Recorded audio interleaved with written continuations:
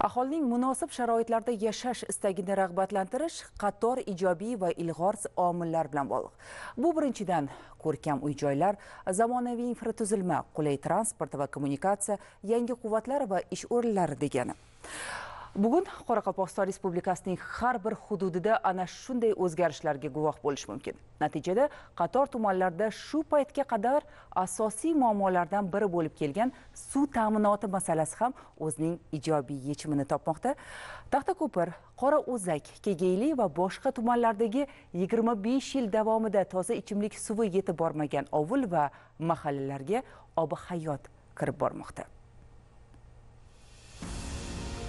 Qoraqalpog'istonning taxtako'pir tumani chorvachilikni rivojlantirish uchun maqbul hudud hisoblanadi. Chunki deyarli 2 million gektarlik ulkan maydoni bor. Shuningdek chorva mollarini boqish masalasi qiyinchilik tug'dirmaydi. Sababi yetarli ozuqa zaxirasi ham mavjud. Biroq uzoq yillar e'tibordan chetda qolgani uchunmi yaqin orada sohada siljish kuzatilmadi. Ushbu yo'nalish ham alohida e'tibordan so'ng o'zini tiklay boshladi. Davlatimiz rahbarining topshirig'i bilan taxtako'pir va boshqa tumanlarda yangi suv manbalarini qazish eskilarni tiklashga kirishilgan edi. Bugunga kelib mana bunday artezian quduqlar soni hududning turli nuqtalarida yuztadan oshdi. Sharoitlar paydo bo'lgach investorlar ham ko'paymoqda. Xorij sarmoyasi ishtirokida yangi komplekslar yaratilyapti.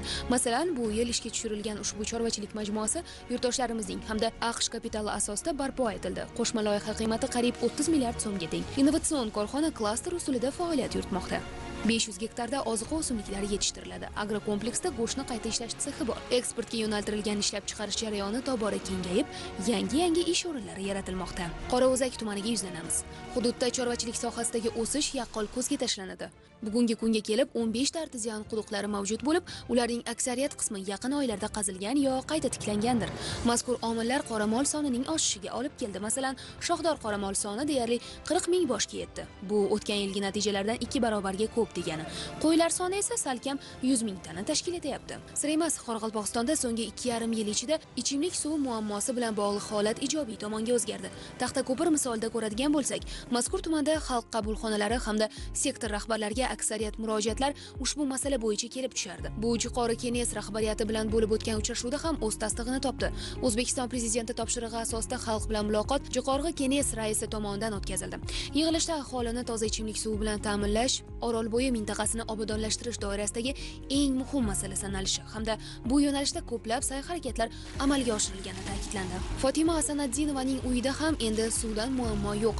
Yirik shaharlar aholisi uchun bu kabi manzara odatiy holatdir ammo qoraqalpog'istonning taxta ko'piri uchun emas. Axir atigi bir hafta oldin fotima opa va hududning boshqa yashovchilari o'zlarining kunlik ehtiyojlarini qondirish uchun suvni uylaridan uzoqdagi quduqlardan tashib kelishar edi. Bu masalaning yechimi ancha kuttirgani yo'q. Prezidentning shaxsan e'tibori aholining ko'p yillik muammosiga barham berdi.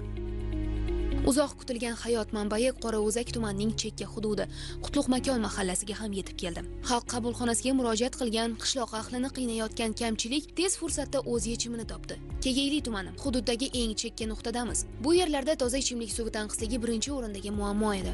Besh kun avval ushbu masala o'z yechimini topdi. Yaqindagina ellikqal'a tumanida nasos stansiyasi ishga tushirildi. Ushbu sa'y harakat natijasida bu yerdagi suv muammosi ham bartaraf etildi. Ha shu yo'sinda qoraqalpog'istondagi dolzarb masala shiddat bilan hal bo'lmoqda. Agar 2014 yilda hududda yiliga o'rtacha 40-50 kilometr suv quvuri tortilgan bo'lsa 2019 yilga kelib ushbu ko'rsatkich 450 kilometrga yetdi. Demak bu boradagi harakatlar natijasi 10 barobarga oshdi. Bularning barchasini kuzatar ekansiz. So'nggi 2,5 yil orol bo'yini butunlay o'zgartirib yuborganini hamma sohalardagi vaziyat o'nglanib odamlar yaxshi yashashi uchun barcha sharoit yaratilayotganini anglab yetasiz.